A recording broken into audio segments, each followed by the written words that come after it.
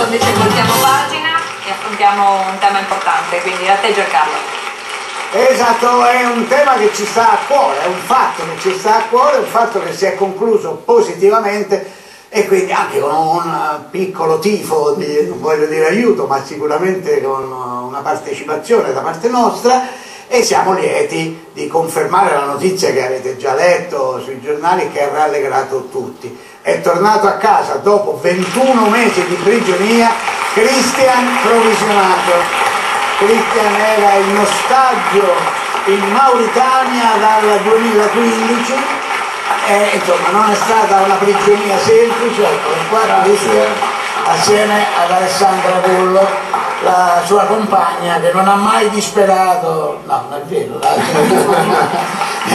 è sempre stata convinta che lei sarebbe venuta, però devo dire che chi era proprio la sua prima fan era la mamma. Mamma è venuta eh, qui sì, più sì, di una volta proprio per tenere l'attenzione viva e desta sulla vicenda perché eh, la paura credo di chi è nelle condizioni in cui si trovava lei è di essere dimenticato però è anche vero che se l'attenzione la, non si mantiene ah, infatti devo dire grazie anche a tutti voi giornalisti per eh, aver tenuto beh ma noi eravamo tutti preoccupati. Intanto sappiamo che non è che le, le carceri della Mauritania siano classificate fra gli hotel di lusso, insomma, diciamo, poi veramente erano tanti mesi che lei era là senza un motivo come abbiamo raccontato eh, più, di, più, di, una volta e adesso lo racconteremo ancora. Prima però volevamo ringraziare eh, chi anche si è dato tanto da fare, principalmente chi si è dato tanto da fare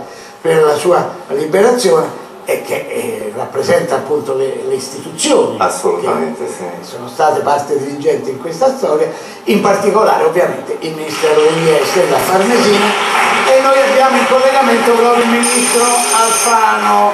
Buongiorno. Buongiorno Ministro, come sta?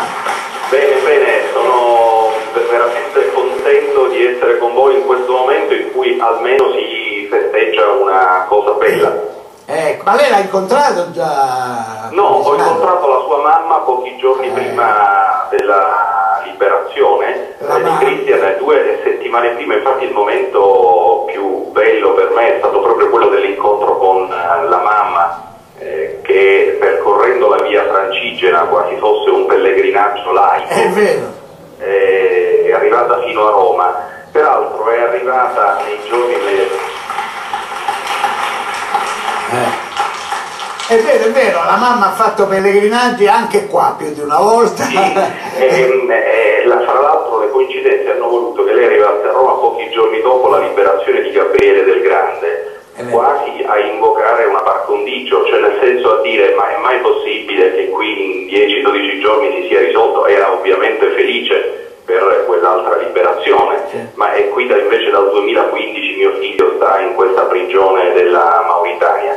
Io la prima considerazione che ho fatto a sua mamma è stata quella di essere a mia volta padre e quindi di poter non capire fino in fondo il dolore perché bisogna passarci per avere lo stesso dolore, ma poter intuire da papà esattamente cosa si può provare, ma era un'intuizione. Ma il suo sguardo e le occhiaie di sua mamma rivelavano molto più delle sue parole, quindi eh, io sono, mi sono compenetrato nel suo stato d'animo.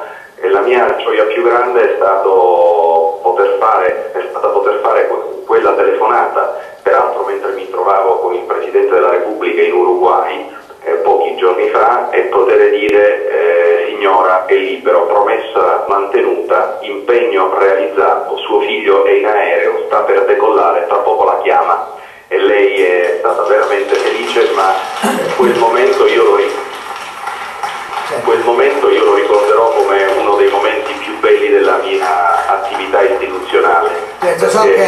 anche Mattarella, il presidente Mattarella è stato felice, si è complimentato, lei ha espresso la sua soddisfazione perché è un successo della diplomazia, indubbiamente questo. È, è, il frutto eh, di un ottimo lavoro della diplomazia. Io ringrazio ovviamente il Presidente della Repubblica per le parole di riconoscenza che ha usato nei nostri confronti, nei confronti della diplomazia ed io a mia volta voglio eh, dire che noi in questi mesi abbiamo avuto molte storie lieto fine. Ne ho contate numerose e l'ultima è stata ieri, un peschereccio con sette persone a bordo era stato fermato in acque contestate dalla Libia come acque proprie. Ovviamente la tesi contrapposta diceva una cosa eh, diversa ed era stato fermato. Le loro famiglie che loro appartengono alla marineria di Mazzara del Vallo erano preoccupate, erano in ansia. In pochi giorni abbiamo fatto un buon lavoro e così come in questi mesi Gabriele Del Grande, due giornalisti eh, di Report, l'attivista che era stato fermato in eh, Cecenia, ma come non dire della piccola Emma che era una bambina che non vedeva più la mamma da anni e anni perché il padre siriano l'aveva portata in luoghi e in teatri di guerra e di crisi e che è stata restituita alla sua mamma. Tutto questo in pochi, tutto questo in pochi mesi. Quindi noi abbiamo eh, avuto una serie di vicende positive, magari non sempre sarà così, però noi abbiamo il diritto e il dovere di lavorare e sperare, perché solo il lavoro ti dà speranza, cioè solo lavorare con efficacia, impegnarsi nel silenzio ti può dare la speranza che le cose vadano bene. Ed in questo caso, nel caso di Christian, è andata veramente molto bene e la felicità nasce anche dal fatto che pochi giorni dopo Farnesina noi abbiamo potuto dare alla sua mamma quella gioia che aspettava dal 2015. Eh, Grazie. Cristian è felice, Alessandra pure, la mamma anche, siamo tutti contenti e ringraziamo molto il ministro Alfano per il ruolo attivo che ha avuto in questa e nelle altre vicende, sperando, Grazie. sperando che da questo punto di vista resti disoccupato, però insomma... esatto, è il mio stesso desiderio. E intanto comunque do appuntamento a Cristian alla Farnesina. Grazie mille. bene. ministro. L'incontrerete là. Grazie Ministro Alfano, grazie mille, grazie di essere stato anche con noi in collegamento. E allora Cristian, certo eh, anche delle altre storie sono importanti, hanno destato allarme e paura, però certo a volte c'è una disparità, eh, cioè del grande è stato qualche giorno, lei è stato 21 mesi. Ah, Devo ringraziare il ministro perché ha capito che bisognava gestire la cosa a livello politico e non più giudiziario perché i segnali che venivano dalla, da- dalla giustizia mauritana Dal punto di vista giudiziario era estremamente confuso. Ricordiamo perché Christian era finito in prigione. Lei era andato in Mauritania mandato dalla società per la quale lavorava, che era una società di Milano, una società di Milano, che si occupa di sicurezza, sicurezza, intelligence e investigazioni. eh, anche sicurezza informatica, cose del genere. Che io no, sapessi che no. sapesse no. Ecco, però si è ritrovato ad andare in Mauritania, in teoria lei doveva partecipare a un meeting Mi viene chiesto di andare in Mauritania a sostituire un altro italiano che doveva rientrare urgentemente eh, per una semplice demo di prodotti di cybersicurezza. Però vengo rassicurato dal fatto che del mio compito è solo di dare supporto a un tecnico indiano. Eh, poi lei ha detto ma non è il mio io No, infatti io non ne so niente che che mi occupo di, eh, ho detto al mio Eh, no, principale, mi però- occupo di sicurezza fisica. ci sono dei filmati le cose fanno loro Eh, sì, sì, eh, massimo dici due parole in inglese per presentare questa società straniera. quindi lei era tranquilla era- io mi sono fidato, oltretutto mi comunque tranquillo ho chiesto al mio referente, queste persone che devi rappresentare sono persone affidabili, cioè le conosci? Lui mi ha garantito che erano affidabili e quindi mi sono fidato a mia volta eh, del mio referente e poi invece si è capito che non era così tant'è vero che quando è arrivato intanto sono stati subito mm, poco cortesi le hanno tolto il passaporto. Sì, il problema è che poi comunque anche il mio referente prima di partire mi disse che lì era prassi, perché infatti anche su quello io mi sono togliere il fidato. passaporto a quelli che arrivano? Quando si tratta di business.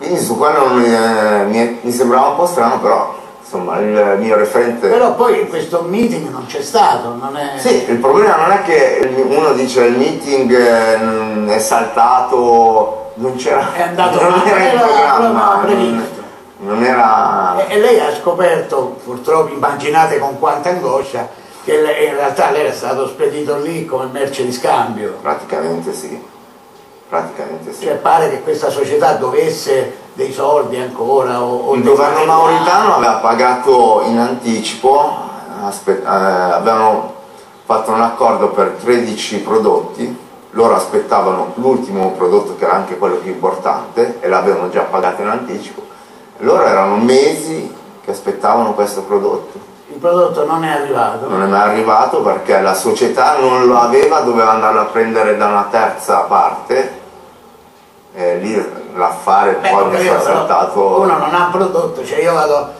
a comprare un'automobile, la pago, non me la danno, non è che poi mi dicono si porti via la cassiera e, e se la tenga in insomma. eh, il problema è quello. Invece con lei hanno fatto questo. Sì, perché praticamente eh, era un ostaggio, cioè, e mi è stato detto. Però era- ci sono stati casi del genere dove però gli ostaggi magari stavano o nell'ambasciata o, o- o in un albergo, lei l'hanno messo proprio in prigione invece.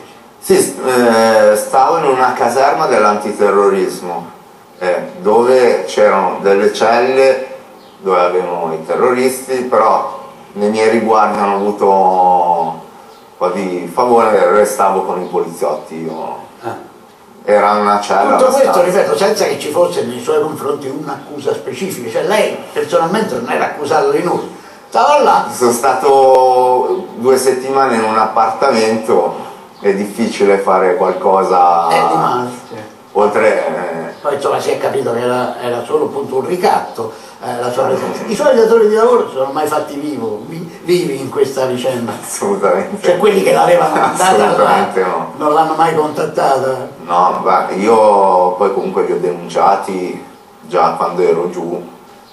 Adesso la magistratura sta indagando e la ringrazio per quello che sta facendo perché devo dire che comunque anche grazie a loro che hanno collaborato mandando giù una rogatoria internazionale per fargli capire comunque ai mauritani eh, la magistratura dirà se sono colpevoli hanno commesso dei reati ne- nei miei confronti quantomeno dico si devono prendere le responsabilità. Beh, eh, perché se tu mi mandi in Africa dicendo di andare lì e poi lì non c'è nessun meeting e mi trovo con accuse che vanno da riciclaggio, truffa, attentato alla sicurezza nazionale, Certo, perché poi cioè quantomeno le, le tue responsa- responsabilità a livello lavorativo e quant'altro te le devi prendere. alla fine anche se lei non ha fatto nulla per giustificare l'arresto l'hanno accusata. Cioè, io ho perso due anni della mia vita, Ma soprattutto- io, la mia famiglia, la mia compagna. Cioè, Esatto, esatto, la povera Alessandra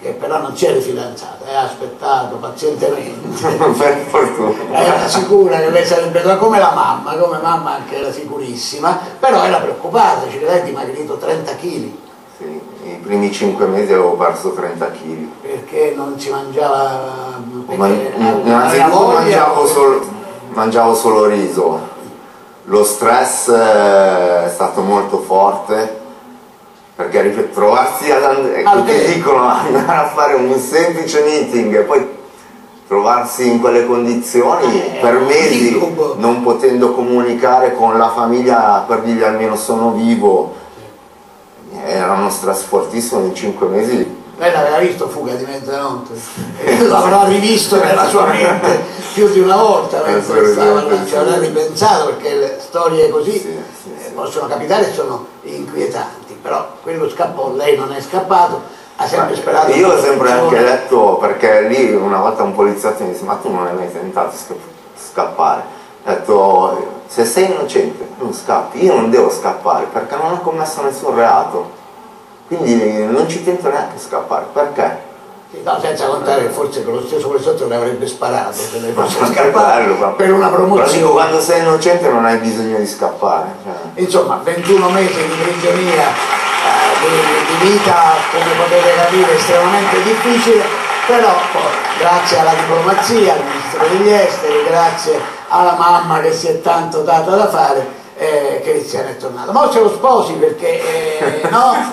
Se troveremo il tempo presto. Ma come tempo? Eh, Non è che ci si sposa quando si ha tempo. No, è la prima cosa che faremo comunque Eh, adesso. Adesso dovete sposare e recuperare anche quei 21 mesi che sono stati comunque, adesso ci scherziamo perché è finita bene, ma sono stati di grande preoccupazione, di grande dolore per tutti e di grande sofferenza fisica per Cristian, che poi ha ricominciato a mangiare. Anche troppo. Grazie. Cristian sono molto contento di averla potuta Grazie mille. qua, dopo averne parlato tanto, averla Grazie potuta salutare. Complimenti, grazie ad Alessandro Gullo e bentornato a Cristian Provvisionale. Grazie. Andiamo al meteo, poi ci rivediamo.